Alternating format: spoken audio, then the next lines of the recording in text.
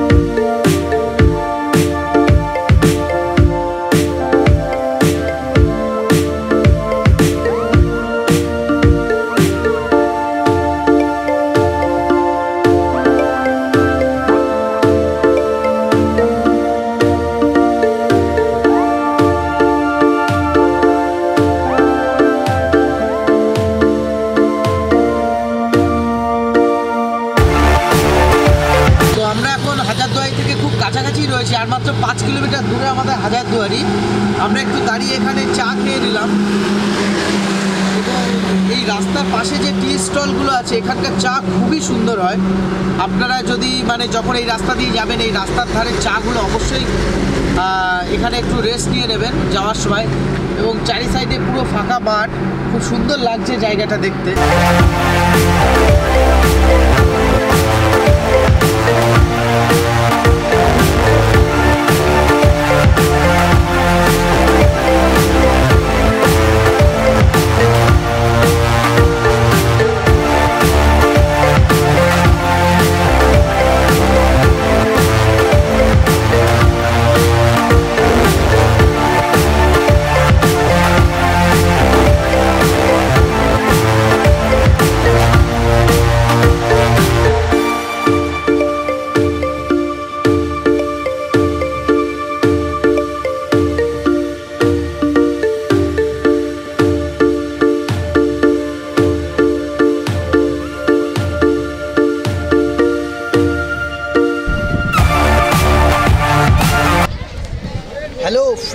তো ফাইনালি আমরা চলে এসেছি ইন্ডিয়ার সব থেকে হিস্ট্রিক্যাল একটা প্লেসে এটা হচ্ছে মুর্শিদাবাদে অবস্থিত নবাব সিরাজুদ্দৌল্লা ঠিক এই প্যালেসে আমি ঠিক প্যালেসের সামনে দাঁড়িয়ে রয়েছি। এই প্যালেসে প্যালেস থেকেই উনি বাংলা, বিহার, উড়িষ্যাকে রাজত্ব করতেন। এবং এটাই সেই জায়গা যেখান থেকে আমাদের দেশটাও পরাধীন হওয়াটা স্টার্ট হয়। সতেরোশো সাতান্ন সালে যদি সেই যুদ্ধটা না হেরে যেত, তাহলে ইংরেজরা কখনোই দুশো বছর আমাদের এখানে রাজত্ব করতে পারতো না। এই জায়গাটায় আসতে গেলে পারে খুবই সুন্দর একটা জায়গা আপনারা দেখতে পারেন। আর এই প্যালেসের ঠিক অপোজিটেই আমি দেখাবো আপনাদেরকে। এইটা দেখতে পাচ্ছেন, এটা একটা ধর্মীয় স্থান মেনলি মুসলিম সম্প্রদায়ের, কিন্তু সব ধর্মের মানুষই এখানে আসেন। এটা সপ্তাহে একদিন খোলা হয়, বৃহস্পতিবার। তো আপনারা যদি কোনো সময় বৃহস্পতিবার করে আসেন, এখানটায় মোমবাতি দিয়ে আপনারা প্রার্থনা করতে পারেন। আর এটা আপনার অনলি মহরমের দিন, মহরমের যে দশটা দিন, ওই দশটা দিনই এইটা খোলা থাকে সব মানুষদের জন্য। এটা নবাব সিরাজউদ্দৌলা বানিয়েছিলেন আগে তো এত হোটেল ছিল না। তো দূর দূরান্ত থেকে যারা মহরম পালন করতে আসতো, সেই ট্যুরিস্টদের জন্য, অতিথিদের জন্য এই বিল্ডিংটা কক্ষটা বানানো হয়। এটা এক সাইডে পুরুষ মানুষ থাকতো আর এক সাইডে মহিলারা থাকতো। আর এই পুরো যে এলাকাটা দেখতেন আপনারা দেখতে পাচ্ছেন, এখান থেকেই সিরাজউদ্দৌলা আর কি এখানটায় রাজত্ব করতে। আমরা প্যালেসটা ঘুরে এলাম, ভেতরে এন্ট্রি চার্জ হচ্ছে পঁচিশ টাকা। আপনারা অবশ্যই এখানটা এলে পারে, এর ভেতরটা অবশ্যই যাবেন। আর এই আশেপাশে হোটেল রয়েছে, আপনারা খাওয়া দাওয়া করতে চাইলে এর পাশেও খেতে পারেন। আর পাশে যে মার্কেটটা রয়েছে, এখানকার কিছু এখানকার কিছু খুব ভালো জিনিস যেগুলো আপনারা কিনতে পারেন, সেগুলো এই মার্কেটে চলুন, একটু মার্কেটটা আমরা ঘুরে নিই।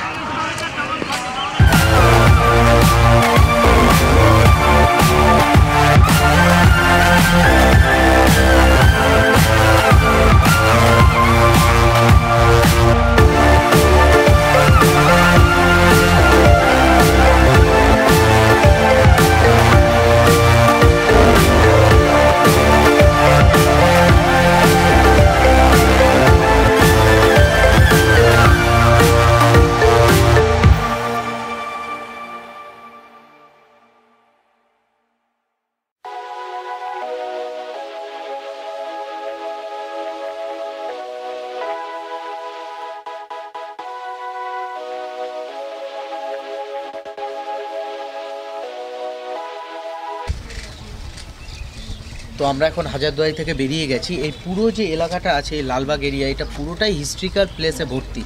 যদি আপনি এই সব হিস্ট্রিক্যাল প্লেস দেখতে চান, এখানে টোটো পাওয়া যায়, আর এখানটায় সব থেকে যেটা ফেমাস এখানটা ঘোড়ার গাড়িটা। এটাতে আপনি চলতে পারেন। আর আমার মনে হয় এটাতে আপনাকে তিনশো থেকে সাড়ে তিনশো টাকা এখানটা ভাড়া। আর পুরো জায়গাটা যতগুলো হিস্ট্রিক্যাল প্লেস আছে, সব এরা ঘুরিয়ে দেখাবে। তো চলুন লেটস গো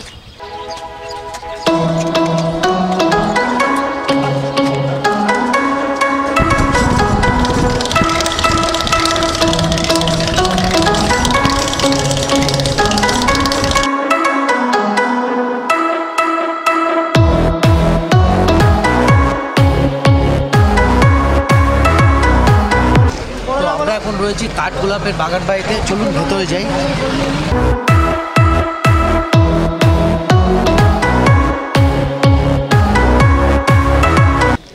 তো আমরা এখন যেখানটায় দাঁড়িয়ে রয়েছি, একদম এই গেটটা দিয়ে ঢুকেই, এখানটায় ঢুকেই বাঁদিকে রয়েছে সুরঙ্গ পথ সুরঙ্গ পথ এখানটায় রাজারা ব্যবসার জন্য এই সুরঙ্গ পথটা ব্যবহার করতেন। তখনকার যুগের যে হিরে স্বর্ণ যেগুলো দিয়ে ব্যবসা করতো সেগুলো এই সুরঙ্গ পথ দিয়ে নিয়ে যাওয়া হতো। আর এখন আপনাদের আমি যেখানটায় নিয়ে যাব সেটা হচ্ছে পৃথিবীর সব থেকে পুরনো চিড়িয়াখানা। সেটা এই ঠিক সুরঙ্গ পথের অপোজিটেই রয়েছে পৃথিবীর সব থেকে পুরনো চিড়িয়াখানা, আপনারা দেখতে পারেন।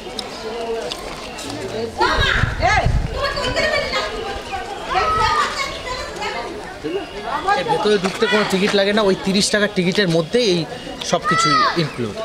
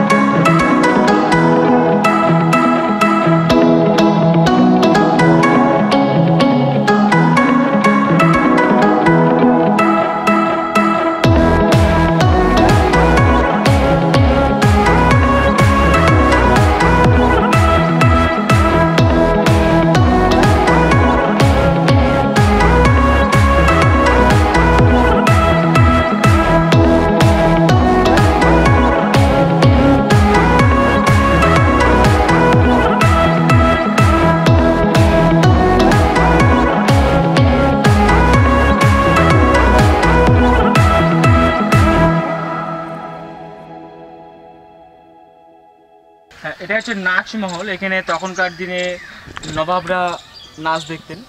তো লখনৌর যে বাইজি হীরাবাই অ্যাংলো ইন্ডিয়ান যার হাইট ছিল সেই সময় ছ ফুট দু ইঞ্চি। তো হীরাবাই এখানে নাচ করত। তো এক রাত্রি নাচের মূল্য দেওয়া হতো তখনকার দিনে পাঁচ হাজার স্বর্ণ মুদ্রা পার নাইট হীরাবাই। পাঁচ হাজার স্বর্ণ মুদ্রা মানে সেটা আজকালকার যুগে কিছু না হলে পাঁচ কোটি টাকা তো হবেই।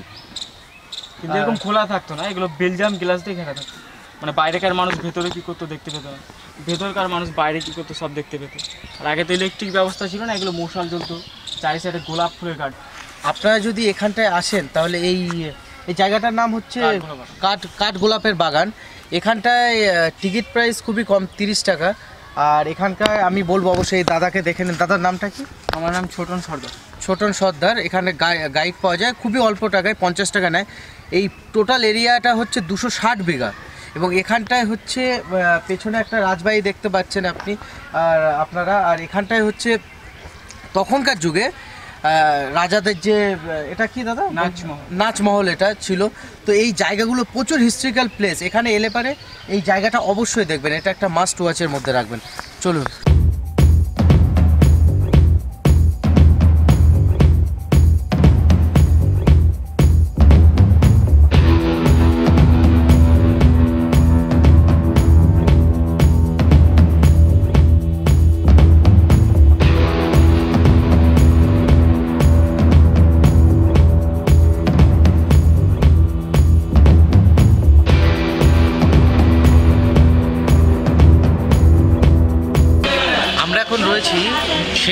নবাবের আমলের পৃথিবীর সব থেকে ধনী ব্যক্তি বাড়ির সামনে জগৎ শেঠে বাড়ির সামনে।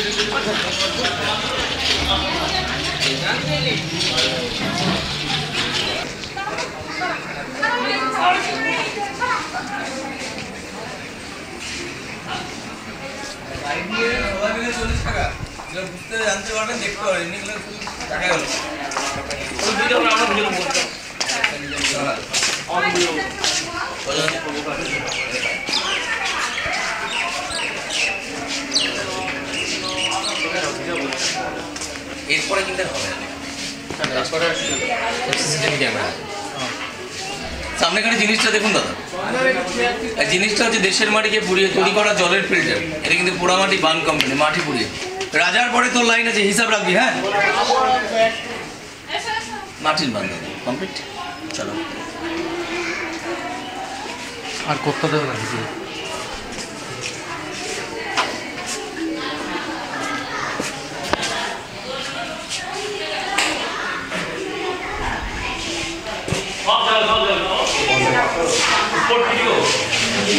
আর এই আশ্রমের সর্বপ্রথম প্রতিষ্ঠা করা হয়েছিল ওই শিবের মন্দির দিয়ে।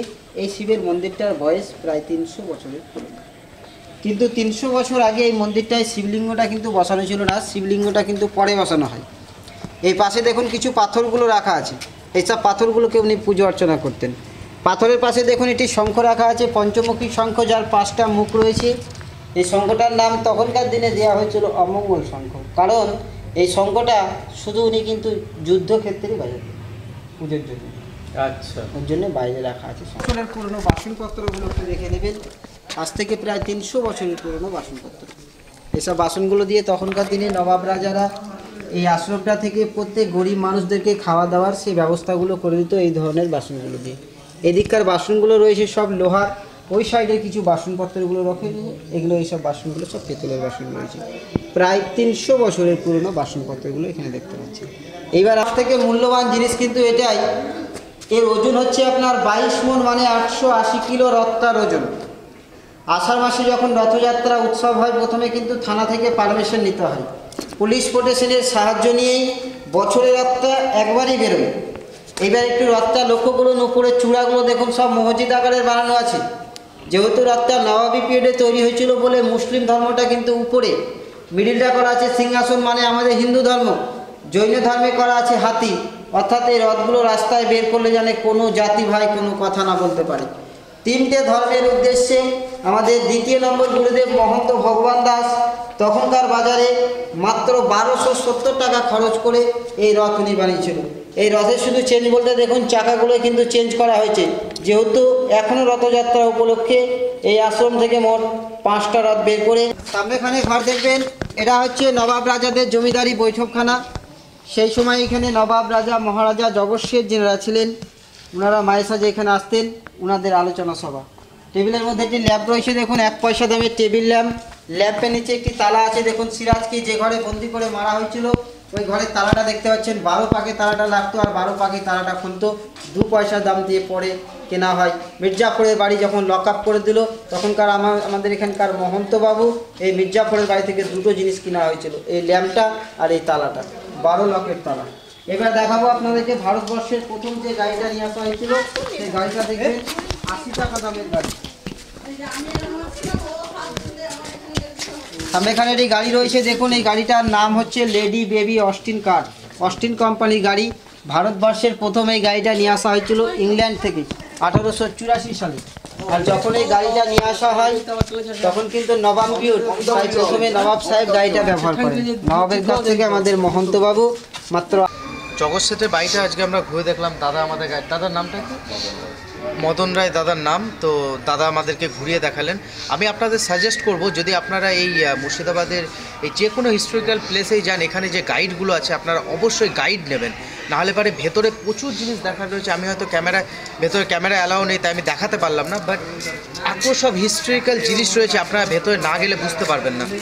আর এই জগৎ বাড়িটা আপনারা অবশ্যই এই যখনই এই হাজারদুয়ারি প্যালেসে আসবেন এই বাড়িটাতে অবশ্যই আসবেন। এর সঙ্গে এই টোটাল ইন্ডিয়ান হিস্ট্রি কিন্তু এই বাড়িটার সঙ্গে জড়িত রয়েছে। কিছু মানুষের স্ট্যাচুগুলো করা আছে। যে সতেরোশো সাতান্ন সাল তেইশে জুন যে পলাশিতে আপনার যুদ্ধটা হয়েছিল এটা কিন্তু সেই পলাশির যুদ্ধের মডেল পলাশ এই পলাশির যুদ্ধে সিরাজের সঙ্গে বিশ্বাসঘাতকতা করেছিল মীর মোহাম্মদ জং জাফর আলী খান। তারপর থেকে ওনার নামটা রাখা হয়েছিল মীর জাফর। তো আমরা আজকে এখন এটা হচ্ছে মির্জাপুরের বংশের সমাধি। এখানে এগারোশো কবর অলরেডি দেয়া রয়েছে এবং তাদের বংশের যদি এখনও কেউ মারা যায়, তাদেরকে এখানে কবর দেওয়া হয়। তো আমরা একটু ভেতরে যাব, দেখি মির্জাপুরের কবরস্থানটা দেখতে পাওয়া যায় কিনা।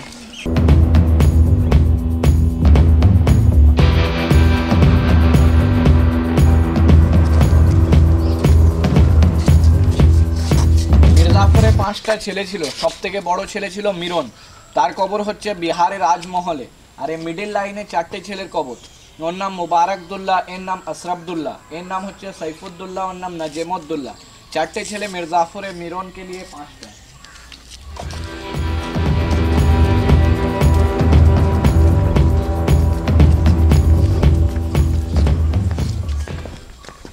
এটা হচ্ছে মির্জাফরের কবর।